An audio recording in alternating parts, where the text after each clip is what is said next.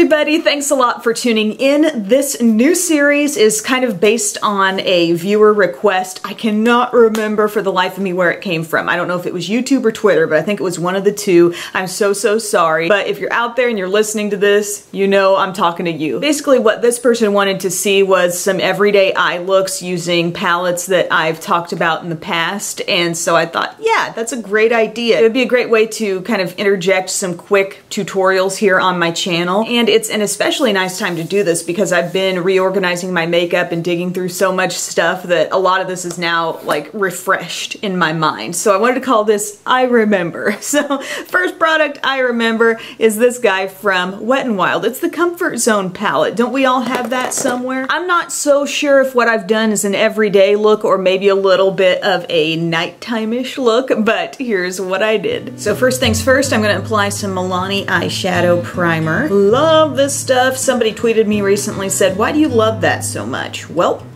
it helps my eyeshadow stay a really long time, I feel like. I also think that it's just tacky enough to help the shadows cling and really be more pronounced when I apply them, but it's not so tacky that it's going to cause any sort of creasing. You know, it's definitely like an anti-creasing thing for me. But also, it's affordable. This is the palette we're going to use today. It is Wet n Wild Comfort Zone, and I'm trying to even think, like, what direction do I want to go with this? I think I just need to warm myself up a little bit and put some of this crease shade right in my crease. This is that soft brown. It kind of has a satiny finish. There's really a lot of shimmer in this palette.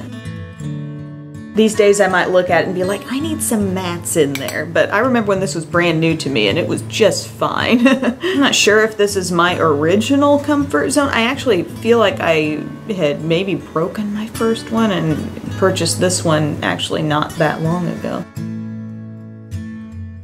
Then I'm going to do a little bit of this shade um, right here on like the inner part of my lid. It's kind of like a goldeny light olive. And then I want a little more green showing up, so I'm gonna do some of that. Yes, comfort zone coming back. Then I want to use some of this crazy definer shade down here that has like that little bit of brownish yet also bluish look to it. It just depends on how you apply it, like how much you pack on. I'm going very little by little because these these uh, shades from Wet n Wild can be very intense, you know. I want to kind of overlap that green a little bit. It's interesting. Now that shade's almost looking like a really warm brown.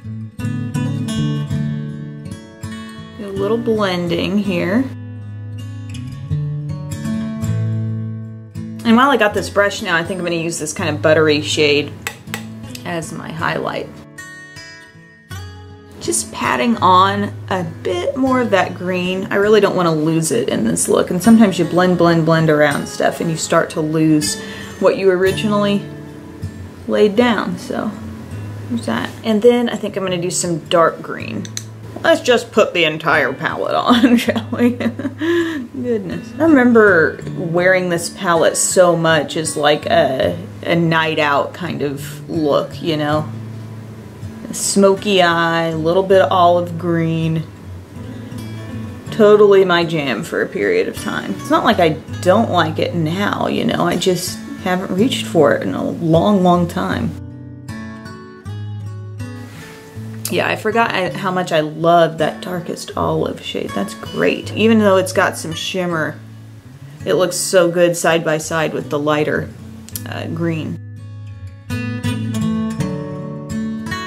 If you were recreating this look, honestly, you could probably skip that step where I use this color down here because I've sort of gone and covered that up. I think that has more intensity when you're using it just on its own and less overlapping another shade, but you do your thing. And then I think to finish this top part of the eye, um, whoops. I think what I need is just a little bit more of this like caramely light brown, just very softly around the border.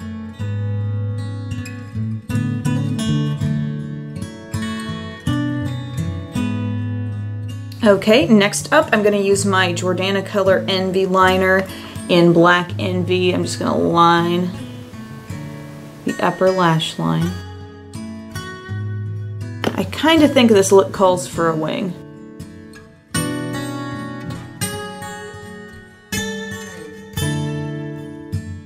And then despite getting a decent amount of sleep last night, I feel like my eyes just, I don't know, they feel tired. They probably look a little bit tired too, so I think I want to brighten up my lower inner rim.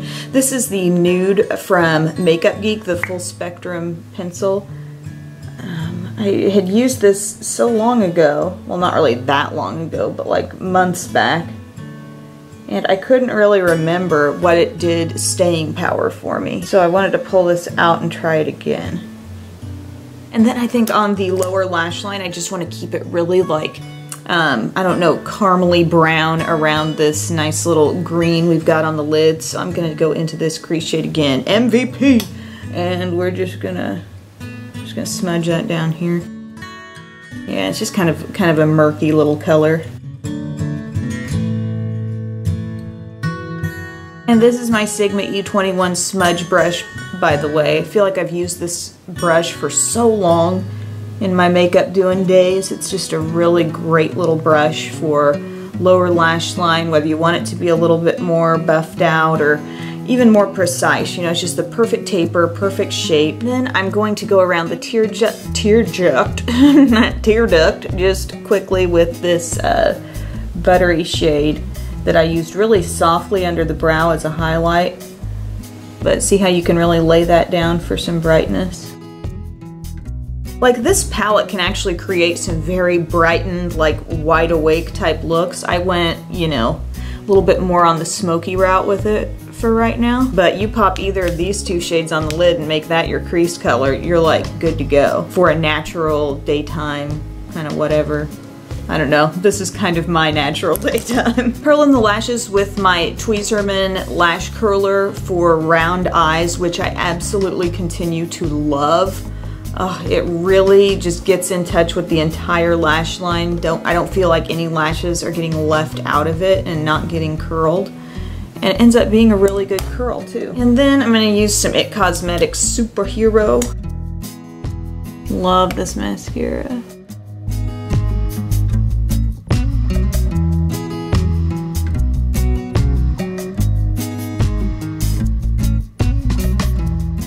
Started watching The Fosters on Netflix. I can't remember who got me onto that but it's really good. Really enjoying it. Okay guys, and this is gonna be it. Um, no false lashes today. I'm kind of happy with the lash look um, using that superhero mascara.